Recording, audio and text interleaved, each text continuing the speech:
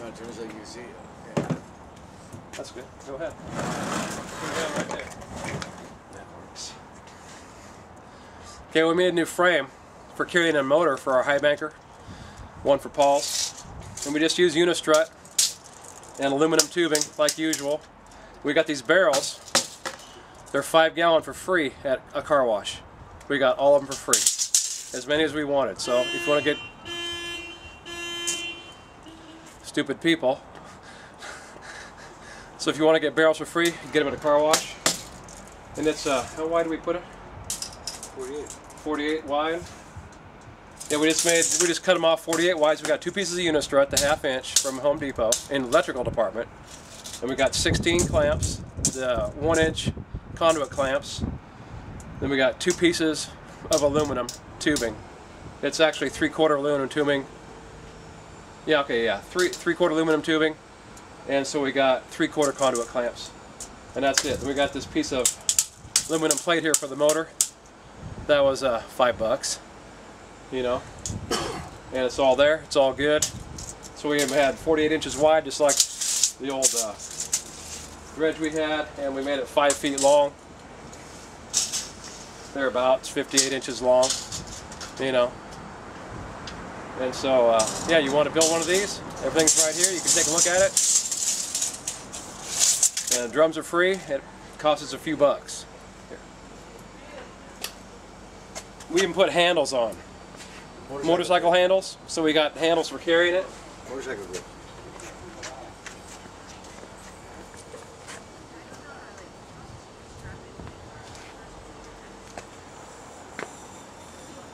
And so we'll just kind of zoom it in here. You got two handles in the back. Then, uh, of course, this is a brand new 5.5 we got online for 400 bucks with shipping and everything, 400 and something, right around 430 or something like that. What was it, 435 you said? 425. 425, four and a quarter for the motor. Uh, Proline HP 350. And then there's our motorcycle handles for carrying it in. And we got to pull the. We promised the lady that we would pull these off the drums and clean them up, and I told them, well, they'll all be camouflage when we get done. But this is probably good enough right now. And so there's a nice brand new easily made frame. Took us about oh, 20 minutes to put together. More like 30 minutes. Maybe 25, yeah. And uh, that was it. Just throw the clamps on, we screwed them down real quick, and there you go. Um, we got one of those? I guess we don't, huh? That doesn't work. So we got the drums for free, okay? Oh, yeah, that's good. That's good lighting right there. Got the drums for free. We went on the, the wide side against here, against the frame. We bought two pieces of half inch Unistrut, and that was on sale was 20 bucks total, $10 a piece. We got two pieces of, well actually one piece of 20 foot aluminum. That was like what, 20 bucks? Yeah, that's 20 bucks. So we got $40 in parts. And then the clamps were like a buck and a half a piece. We got 16 clamps of the Unistrut clamps. You know, so that's uh, 24, 40. So we got like 65, you know, we got under 100 bucks into this frame because the drums are free. We got them at the car wash. So, so there's another good product, you know, easy product from us, easy to make, four foot wide, five foot long, cheap, and it'll carry anything. And with the five gallon buckets, I mean the uh, five gallon drums, we made them to where it's nice and nice and short, and uh, it was more great. We're gonna go test it out.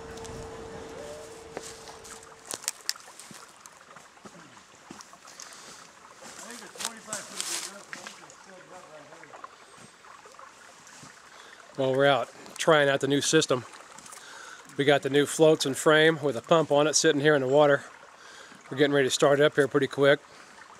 Got the South Yuba High Banker running upstream, or it's going to be running when we get the pump going. And uh, so this is the trial run of the new motor and the uh, Proline HP 350 pump. So we're going to start it up and run. We'll take a look at it real quick. so you can see how it floats with the floats that we just made. I mean, you can judge it better than I can. My eyes are just not that great, as usual. But, so yeah, here we are. Without it running, it's just sitting. Oh yeah, it's probably almost halfway. It's like three inches in the in the water, so that's pretty good.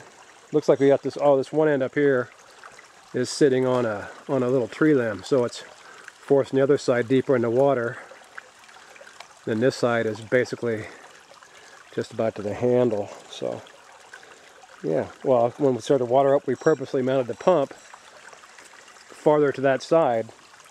So when it starts up and the water's pumping, that hose is going to lay on there and bring this end down. So it should be fairly level, and if it's not, well, be close enough for right now. So anyway, this is the pump we made down there at Paul's house. The plate and everything we drilled out, everything's all mounted, and we're ready to rock and roll. So we prime a little differently than most people. We don't sit there and just mess with that flapper valve on the intake. We just go ahead and pour the water right into the top of the pump. And that way it's primed, you put the hose on, start it up, and you're ready to go. We just pour it in until it pops out. And yeah, it's leaking a little bit right here at the connection. No big deal. I mean, it's a pump. It's supposed to leak water anyway. But look at that. It's just it's floating just fine. That's perfect for flotation. Could, we could still take out those other two. There's no reason to have six floats. Four would be plenty. It's a sweet setup though, man. That it is. That it is.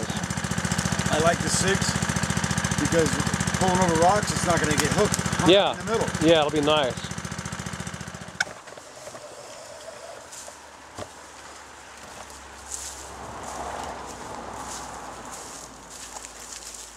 Just that easy carrying that thing. I told him it's like toting along a rickshaw. Yeah, it's nice and light, man. We're good. Yeah. For its first time out, it worked good.